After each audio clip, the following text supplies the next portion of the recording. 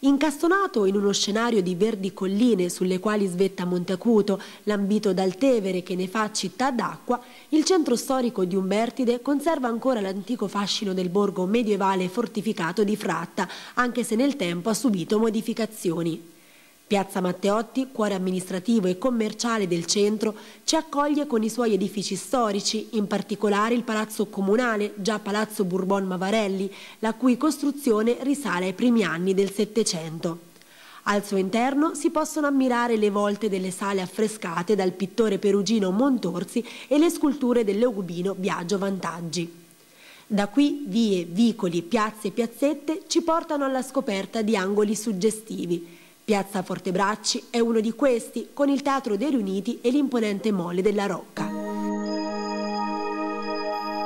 Il teatro è stato ricostruito nel 1808 nel luogo dove esisteva quello antico. Alla metà degli anni Ottanta un'intelligente opera di recupero conservativo ha restituito alla città un piccolo gioiello, una bomboniera per attività culturali di grande respiro. La Rocca, superba fortezza medievale, la cui costruzione fu ultimata nel 1389, è il simbolo della città.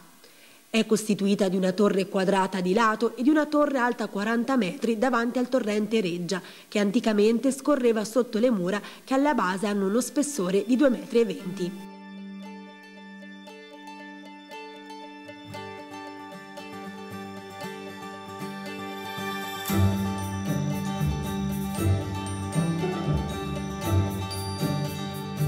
Si narra che nel 1394 nelle segrete di questo castello fu rinchiuso prigioniero il famoso comandante di Ventura Braccio Fortebracci da Montone. I recenti lavori di sistemazione della piazza del mercato sotto la rocca hanno riportato alla luce il basamento del ponte levatoio della cosiddetta Porta del Soccorso. Di fronte alla rocca, appena fuori dalle mura castellane, si erge l'imponente tempio ottagonale di Santa Maria della Reggia, la collegiata, edificato nella seconda metà del secolo XVI in onore della Vergine Maria, patrona della città. Le vestigia della fratta medievale si possono scoprire in un affascinante percorso tra storia e ambiente che partendo dalla rinnovata piazza del mercato sotto la rocca arriva fino al Tevere, costeggiando le antiche mura castellane lungo il parco della Reggia. Qui si può ancora ammirare il torrione di Porta Nuova, bastione di difesa a sud-est sulle mura di Fratta, alto 18 metri e costruito nel 1408, su cui è stata edificata nel 1870 una casa tuttora esistente.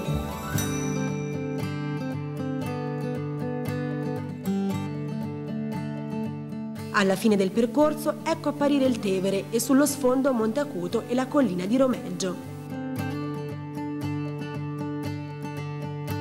Alla sinistra del ponte anticamente esisteva una grande diga realizzata per alimentare a scopi difensivi il fossato della Reggia intorno alla cittadella fortificata di Fratta, diga di cui nei periodi di secca del fiume si possono vedere i resti dei pali di sostegno. Vi fu anche realizzata una pescaia per permettere ai frattigiani di approvvigionarsi con facilità del pesce del fiume che allora costituiva una fonte alimentare molto importante per la città. Alla destra del ponte un'altra immagine simbolo di Umbertide, le antiche case del borgo costruite sopra le mura castellane e lungo il Tevere il campo di pesca sportiva nazionale che arriva fino alla foce del Carpina e che richiama ogni anno migliaia di sportivi appassionati della pesca da ogni parte d'Italia.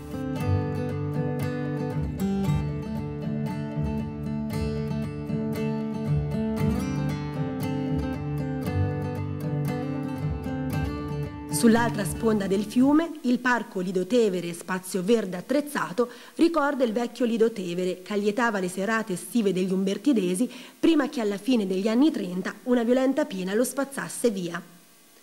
Risalendo poi dal Tevere sul ponte del torrente Reggia, si apre agli sguardi Piazza San Francesco, la piazza più antica e più bella della città.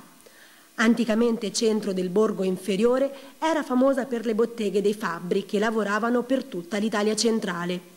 Su di essa si affacciano alcune delle chiese più antiche di Umbertide, Santa Croce, San Francesco e San Bernardino e l'ex convento di San Francesco con il suo stupendo chiostro. In fondo alla piazza la porta della Caminella del 1613 che chiudeva a sud il baluardo di difesa sulla sponda sinistra del Tevere.